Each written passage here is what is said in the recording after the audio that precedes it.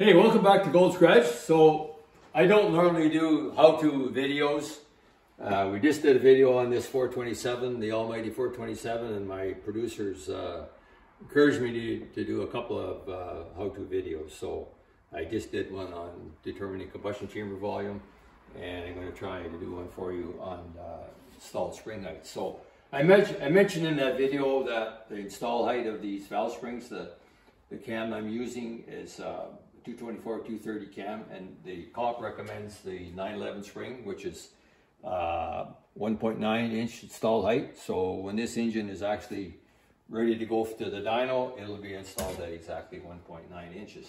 So how do we know what height it is and how to get to that 1.9 inches? The first thing we need to know is how what it is right now. So because this engine had uh, bigger valve springs before, the the um, the, the, the base of the cam seat, or the spring seat, was machined down deeper. So these springs are installed at close to two inches installed height, which is going to work in my favor because as I mentioned, for the break-in of the flat tappet cam, one way I'll reduce pressure on the cam is by installing the springs and in order to, do, to reduce pressure, I'll re remove the vibration or the, the damper from the inside of the spring and I'll also install them without any shims at the full install height, almost two inches.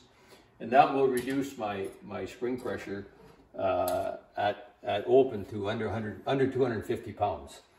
And the term we use is, is pressure. It's not really the right term, it's force. This is not a PSI, it's amount of force, the amount of pounds that are pushing up and down on that spring. It's not PSI, it's, it's pounds force. So, uh, small point, but I had to bring that up.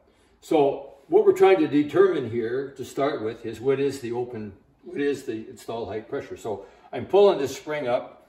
If this head was on an engine, it would actually be easier to do because you could put air into the cylinder, lock the engine from rotating, put pressure on the bottom of the valves, and that would hold the valve up tight against the seat. So we have to do, hold it up ourselves and make sure it is, and it is nice and tight. But when I go to go to uh, compress the spring, sometimes the valve wants to move, which makes it a little bit more awkward but it's workable and I do heads like this all the time. So how do we how do we measure what this installed height is? Once we know what it is, uh, then we can add shims. You can buy shims that fit under there in 15, 30, and 60 thou increments uh, of thickness. And I just dropped the... Oh, that's okay. Us how get back on there. I'll get it back on there. Just awkward, I just dropped Okay. I just dropped the but I got them back now, okay? So you can buy shims 15, 30, and 60 thou thickness. And so you just use shims in order to uh, get your actual install height. But you start off by determining what the installed height is. So, and for purposes of installing camshafts, the, the uh, recommended installed height, once again, for these uh, 911 springs is 1.9 inches. Uh, and the accuracy of measurement required for something like this, plus or minus 20 thou is plenty. Uh, minimum shim you can buy is 15 thou anyways. So if you're plus or minus 20 thou on your measurement, you're fine. The, the, the highest end way to do that, most expensive way to do that, you can actually buy a spring micrometer that fits over the valve and it works just like any other micrometer. It measures the exact height of the installed pressing onto the bottom of the retainer. The problem with that is they're fairly expensive, and you, and if you do a lot of different engines, you don't just need one. You might need a number of them because the install height's different, and they're only made for certain diameters of springs, certain diameters of retainers, etc. And so you need to own, you may need to own a number of them in order to do that. So this is another way to do it that I do it that that's accurate enough. And one of the important things if you're doing trying to do precision measurements is repeatability. If you use the same method multiple times and you get exactly the same result, it's probably a, sound method. If you get a different result every time, don't just pick the last result because it's probably wrong. So that's what I go by. I record, I don't just do it in memory. I'll record everything I do on paper. That gets transferred to an Excel spreadsheet. It gets recorded.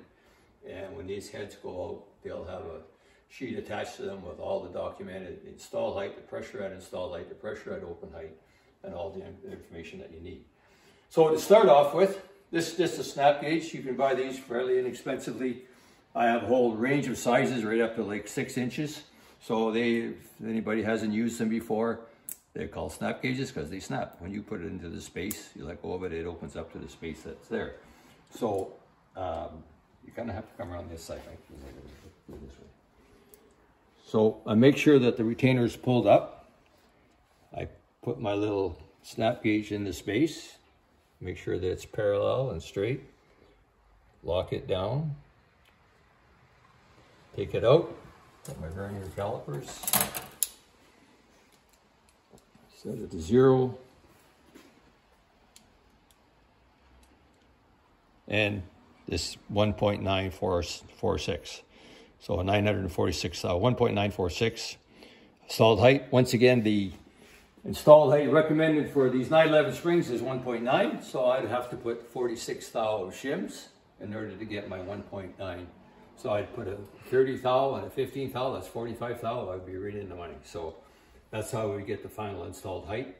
So the next thing I need to know is, in this case, they're brand new springs. It may be redundant to do that, but if you're checking springs, to know how much force I have at installed height. So that's what my spring checker is for. So I'm interested in knowing what it is at 1.9 inches. So put it in the spring checker and let read on the scale, okay?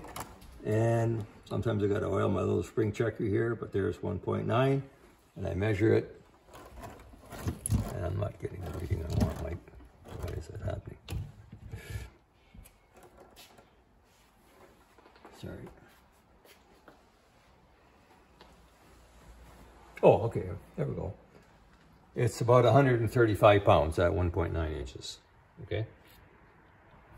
And that is actually correct, okay? The next thing I need to know is what the, what the spring force is, not PSI, the spring force is at half an inch lift. This cam is 0.52 lift, so that's 1.9 divided by 0.5 is 1.4. So I go down to 1.4 on my installed, installed height here. One, two, three, four. Oh. There we go. And it's 285 pounds right on there. Sorry for you, there. Almost 290 pounds. Okay. So I'm doing this quickly for demonstration purposes.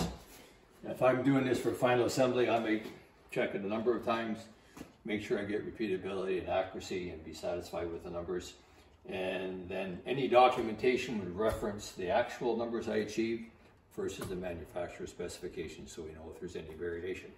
If you're wondering about springs that have been used, if they've lost their tension or their force, and if you know, the original manufacturer specification, you can actually measure them on your spring tester and determine whether they're losing any, any of their uh, force or not. So, so the final result will be, once again, uh, when I start this engine up, this 427 engine up, I will leave the damper out of the spring and install the spring by itself. I will not put any shims in it.